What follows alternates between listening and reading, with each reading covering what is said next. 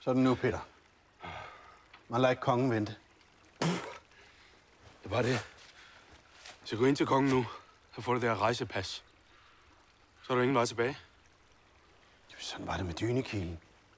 Der gik det også bare ind. Siger du til mig, der var dristigt? Du går ind i dynekilden. Hvad? Jeg siger, at når Tordenskjold går ind, så forandres verden.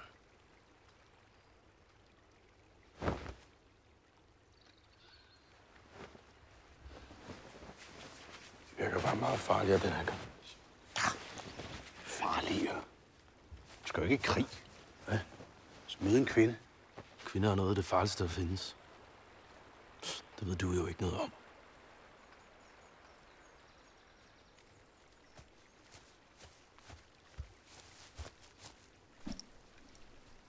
Nu tager du op på slottet. Charmerer kongen. Får det rejsepas. Måske sidder kongen på information om en ny søkrig. Ja. Måske.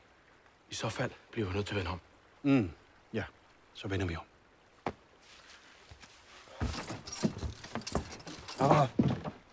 Det er kongen, Kold. Her ankommer vi korrekt.